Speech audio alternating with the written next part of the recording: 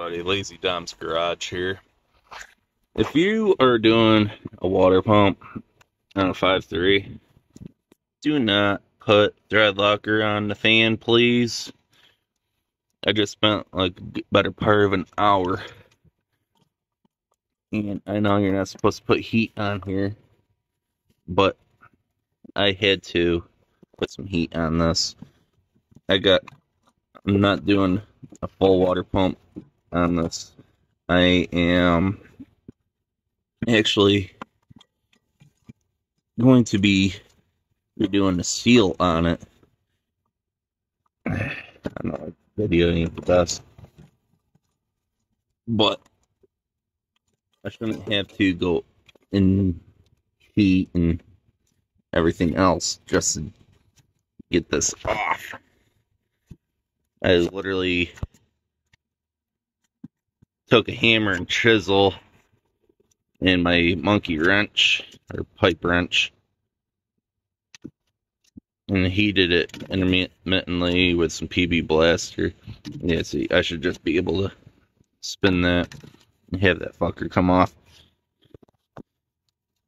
But I used this, a big hammer, heated it, hit it, still nothing, so busted out the chiseling, hammered on one edge,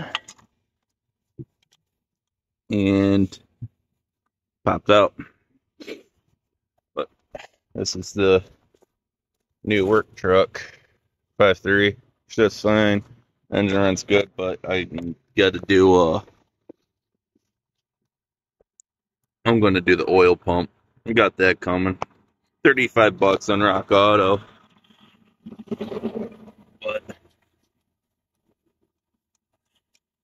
That's the deal. Just got it.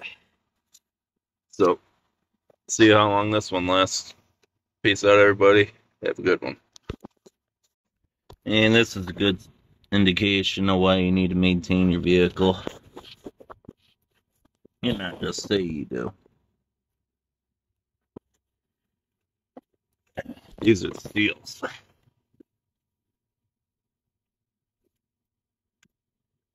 All deformed. Covered in rust. I mean, look at that. No wonder this had a coolant leak. And this one was completely torn and was right here. And you can tell rust got behind it.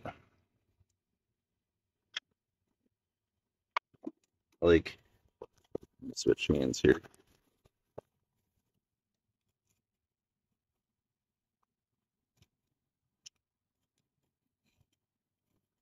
They were trying to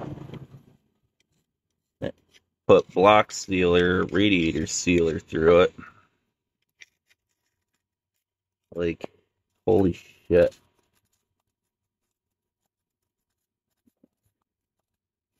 Look at all this shit. I know this isn't the water part of the water pump, but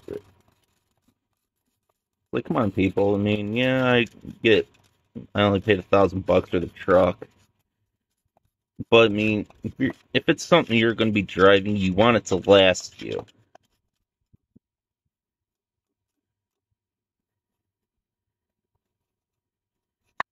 I mean, take the time, go to the car wash, pressure wash underneath. I mean, this. I know people who had the mindset, well, I could just go buy a brand new vehicle, but not everybody has that luxury. And if you want the next person to have something that they can depend on, even though it's not going to last them very long, it's still the fact that it's like, what if it was you and you were in that situation? You want to be able to buy something, not worry about the engine blowing up or being stranded. Because who's to say that person doesn't have kids? Would you? Do you really want to leave them on the side of the road? I mean, if it's a transmission problem, that's understandable. I mean, transmissions go out, but you want to at least have the engine in good operating condition. like how hard is it to like lube your bearings and things like that?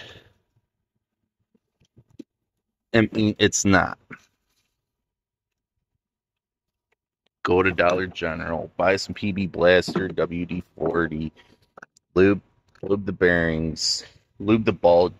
I mean, get some grease, lube the the ball joints, tie rods, things like that. Take the time, show, put some care into your vehicles. I mean, the market is such at such a high rate right now that it's ridiculous. Take pride in your vehicle. You want it to last. You're putting all this money. I mean, we sell ourselves by the hour to big companies and all. I mean, every time we buy something, that's a fraction of our time that we just put out there to make that money. So take time, put some consideration in your vehicle. You want that to last so you're not constantly buying another vehicle like I am. I mean, I don't have the greatest credit in history, but still. Take time, put some attention in everything you, you're doing. I know I'm rambling, but it's just the point. Like, guys like me are struggling, and if you weren't someone that was had everything handed to you, then turn around and do the same do the same thing. Put time in, into your vehicle and time in your home and your lives. Guarantee you'll come out better on top, and you'll have more money because you're not forking it out all the time. But peace out, everybody. Have a good one.